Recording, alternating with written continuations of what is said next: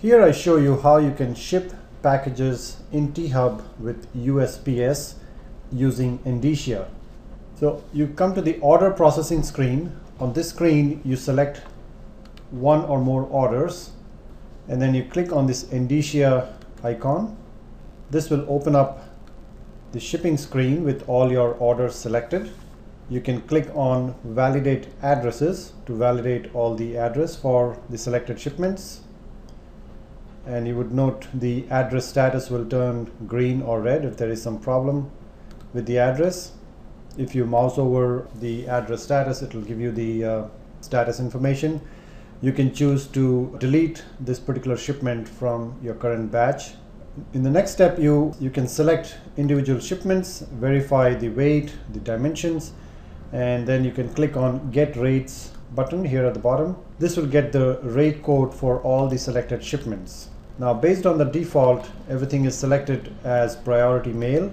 You can obviously go and override some of them and select a different shipping method. And when you're ready, you click on this Generate Label button at the bottom this will go through the list and generate a shipping label for all your selected shipments in one batch. Just click yes and that prints the shipping label for all your selected shipments. In my current setup, I had a template where I print the shipping label and the packing list on the same sheet of paper. You can choose different templates where you can just print the shipping label uh, separately in different layouts. So here I had selected six shipments. So it printed six labels and one of them was Priority Mail Express. So once you print the shipping labels, the shipping status will turn uh, as shipped.